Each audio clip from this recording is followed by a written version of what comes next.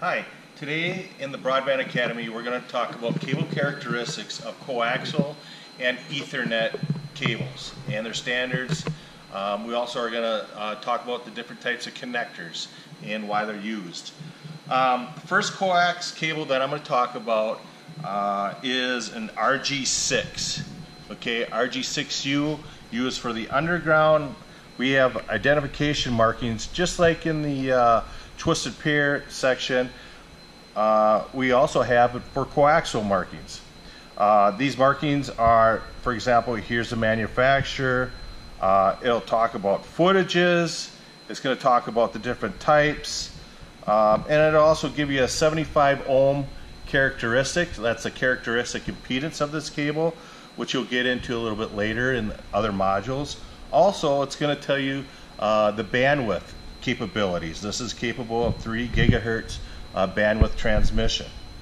Um, this cable is manufactured uh, for underground services. This is a drop cable, okay? And drop means it's going to go from uh, subscriber tap, all right, and then buried to the actual uh, network interface device that is connected to a ground block, which you'll see in a later video also. Some of the characteristics of this cable I want to identify. You have your black polyethylene coating. You have a metallic braid that gives the flexibility, okay? You also have a aluminum uh, sheath, which is your outer conductor, okay? And then inside here is called the white part is your dielectric. Your dielectric is the insulation uh, between your center conductor, this copper center conductor, and your outer uh, metallic sheath. Also, on this end, when you terminate this type of cable, you put an F connector, and that's what this connector is called. Your F connectors, there's many different types. Um, we can go through, here's a, here's a crimp-on type that will fit on this as well, and then instead of using a com compression tool like this one, you use a crimp tool. Compression tools look like this. Your cable goes in like so. And then you compress it and that makes that connection with this so that this doesn't come off at all. This type of connector is called the crimp. So this could go on this end, okay, and then instead of the compression, you put it in here and you crimp it. And that would keep this on just like this connector as well. Those are two types of connectors for, for your drop cables. The next type of cable that I'm going to talk about is this is another type of drop cable, but this is for aerial. And how do I know that's because it has a messenger wire on there. This is a copper wire, or, uh, excuse me, a steel wire that gives us additional support. So in aerial transmission, what happens is or, or drop insulation, this gets tied onto the house and this gets tied onto the pole. Okay? So with bad weather, wind, storms, snow, whatever it might be, it's going to give you that support, this rigid strength for that type of aerial drop. Same type of uh, um, internal components. You're going to have your polyethylene, your, your braided shield to give it flexibility, your dielectric, and your center conductor. The next type of cable is this is a cable that we use for uh, video surveillance. Once again, this is RG6, or excuse me, RG59, this one is. So the difference between 59 and 6 is that your center conductor is, I don't show this one, is a little bit smaller. You can see that and your dielectric is a little bit smaller. So when you have a smaller type of cable, RG59, uh, um, then you have to use different types of connectors because your center conductor won't fit on one or the other. So you have to use the correct uh, connector for termination. Now, for this type of uh, cable itself, I said it was for surveillance. So the video signal from the camera is ran through here, but the camera needs power. So that power is, is uh, connected through this red and black, okay? and usually all cameras are run off a 24 or 12 volt DC uh, power supplies. Most often 12 volt, and that's what these are. Okay, this is going to power up the camera. It's going to go back to a power supply be terminated. And once again, everything else is uniform.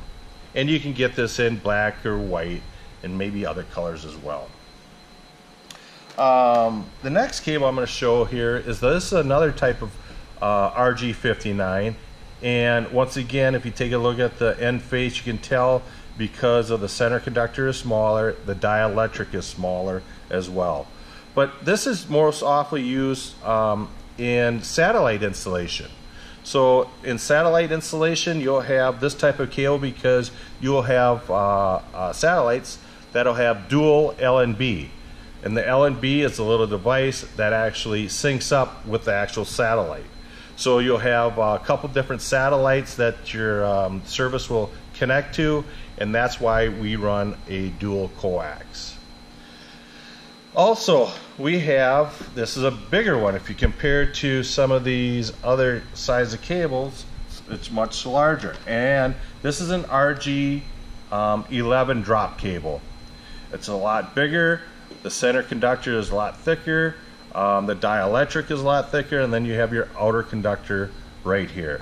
This is used for drops, but in circumstances that um, there's a long distance drop, you use this because there will be less attenuation in that signal. Um, once again, you're going to have markings just like all the other cables that show the manufacturer, all the specifications, usually some footage markings so that they can be documented. These are, are types of drop cables. I want to show one more type of cable and this is a uh, slip-on F connector cable. You can see it's really thin. And this is going to be used in between devices like set-top boxes and TVs. One other thing that I forgot about the RG11 cable is the size of F connector here. That's this F connector. And it has a weather boot on there. Once again, this is going to be underground. There is a flooding compound in here to keep any type of water out. So this will be a compression. It'll be crimped on here and be terminated. One last type of connectors is our, our, our uh, coaxial connectors are our hard line. And this is hardline. This is going to be an aerial type of hardline. Okay. I will show you a video a little bit later on the different types of devices that are connected to the hardline um, in the aerial transmission. But once again, you have your outer conductor. That's what this is. You have your dielectric. Okay. And then you have your center conductor. This type of cable is used for your feeder distribution cable. So coming from the head end and going to all the components, that's where this is going to take place. Why? Because this is going to go a lot longer distances because there's going to be less resistance and less attenuation because of the size of this cable. And that's where this comes into play for feeder distribution. These will be connected to components and devices that then will have these drop cables connected to going to the customer or business. This last cable here is underground, another hard line. Okay, this one's got a polyethylene jacket on it. Here's your outer conductor. Your dielectrics in there, which wraps around your center conductor, keeping it insulated from this. Because if they touch, that's a direct short and you will not get signal and you will have uh, no reception and this will actually interfere with the whole system's transmission. These connectors on this type of cable uh, are a hardline connectors. They have a device that your center conductor goes in here and it gets compressed on so you have a tight fit. They can use these in different type of, uh, this is like actually a splice connector. As you can see, the hard line goes in here. So you can come, so if you run out of cable or if the cable gets broke, that's where a splice comes into play. But more often, these connectors are connected to devices. This is a line extender. It goes into here, it gets connected, and then this line extender will actually boost the signal for the distribution.